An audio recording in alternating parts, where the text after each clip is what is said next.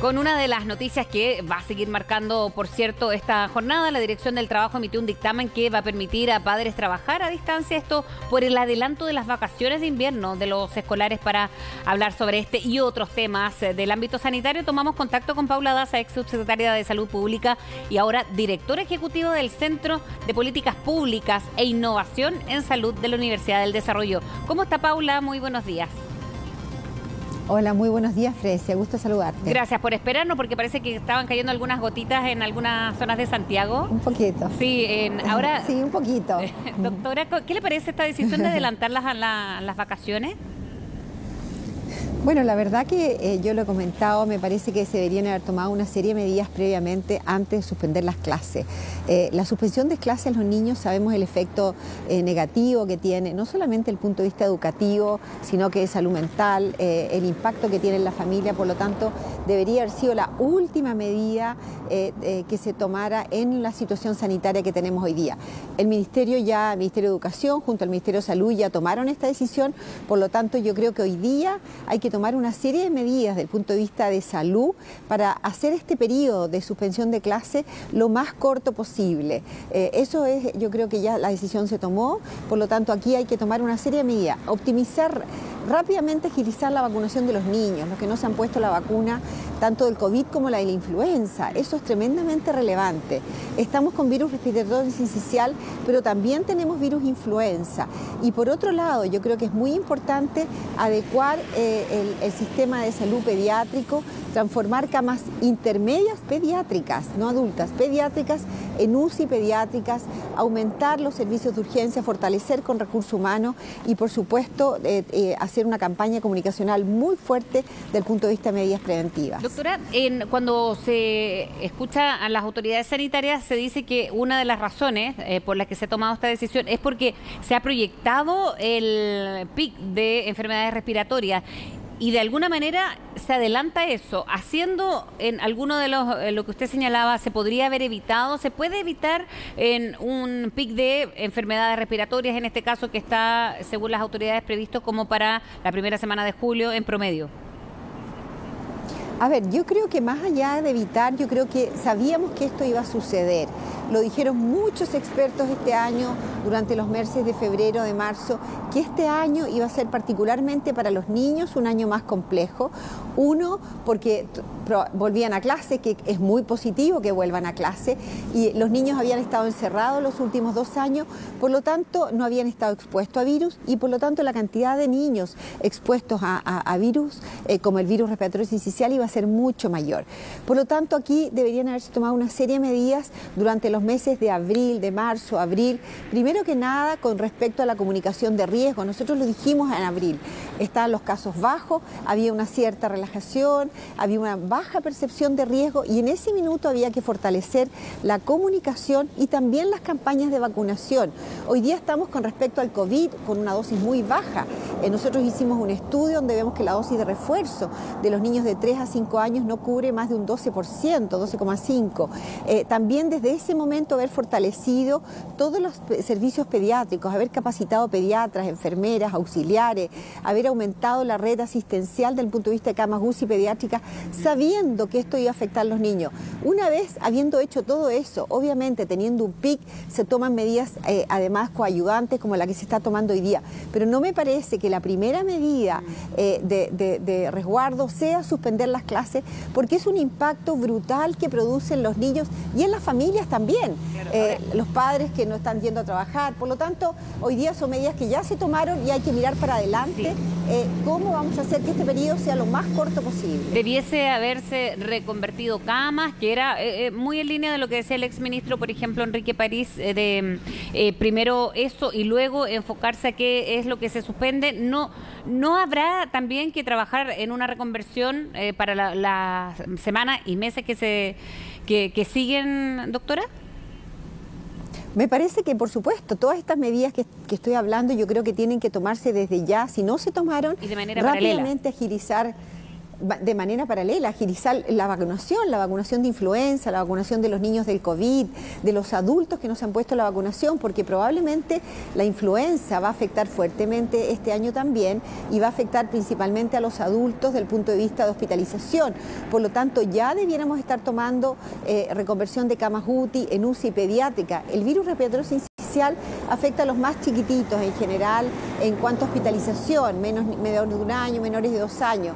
Por lo tanto, probablemente vamos a tener un aumento de requerimiento de camas UCI pediátricas y tenemos que fortalecer las UCI pediátricas con intermedio pediátrico, con camas, como se ha hecho en adultos. Hemos aprendido durante la pandemia que se puede hacer, hay que hacerlo con los niños hoy día. Eh, doctora, han sido bien críticos desde el ministro, desde el ex ministro eh, Mañalich, eh, París, de haber eh, hecho, por ejemplo, otro tipo o haber tomado otro tipo de medidas y luego eh, adelantar las vacaciones, pero también en la administración en la que usted era subsecretaria se tomó esa medida, incluso fue eh, tema de autocrítica para uno de los exministros de salud. se podrían haber hecho también las cosas distintas, ¿no? De no haber cerrado los colegios em, una vez que comenzó la pandemia, que fue lo primero que cerró y lo último que abrió de, de partida.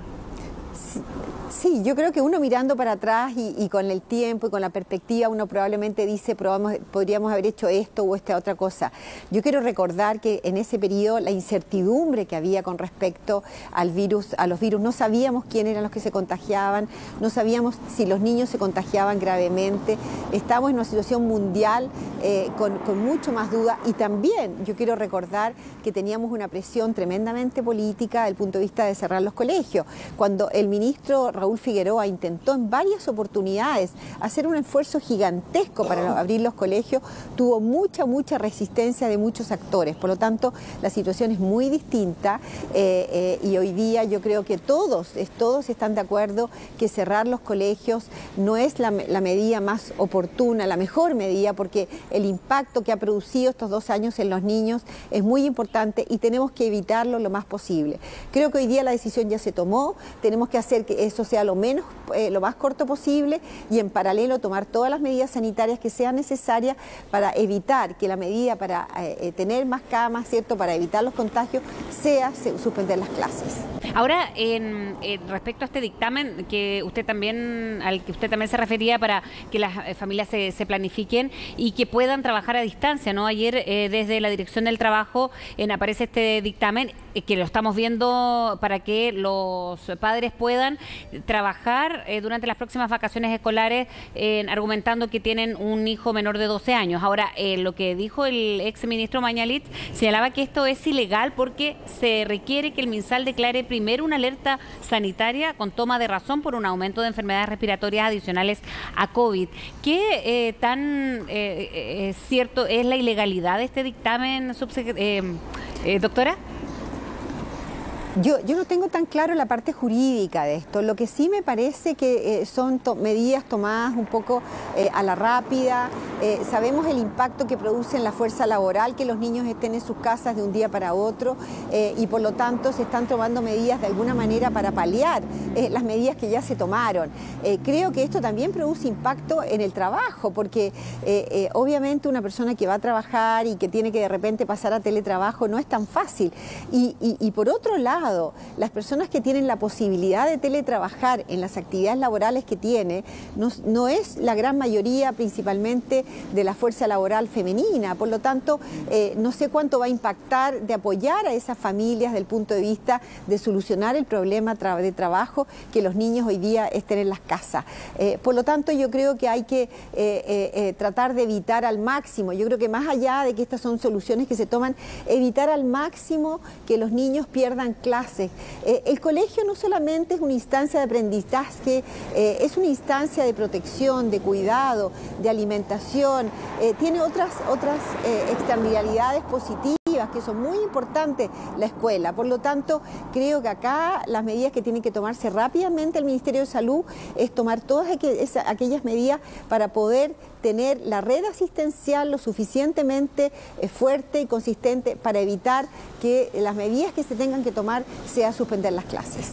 ahora es lo que usted está desempeñándose, doctora Daza, en esta en este centro de, públicas e innovación, de políticas públicas e innovación en la salud de la Universidad del Desarrollo. Se hizo un seminario ayer respecto a las preferencias de em, los chilenos en la salud pública y privada y quizás muy en línea de lo que se está hablando, por ejemplo, en uno de los trabajos que se ha hecho en la convención. ¿Qué es lo que se, em, se, dio como, como resultado detrás de este estudio, eh, doctora Daza?